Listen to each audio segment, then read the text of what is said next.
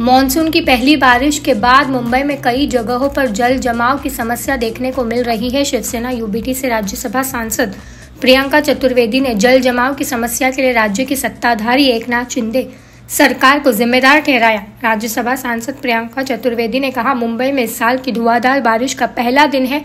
ऐसा नहीं है कि बारिश नहीं आई है। ये उतनी ही है जितनी हर साल पड़ती है। बीएमसी के वादों को याद दिलाकर प्रियंका चतुर्वेदी ने निशाना साधते हुए कहा बीएमसी ने वादे किए थे कि सारे नाले साफ़ हो गए हैं।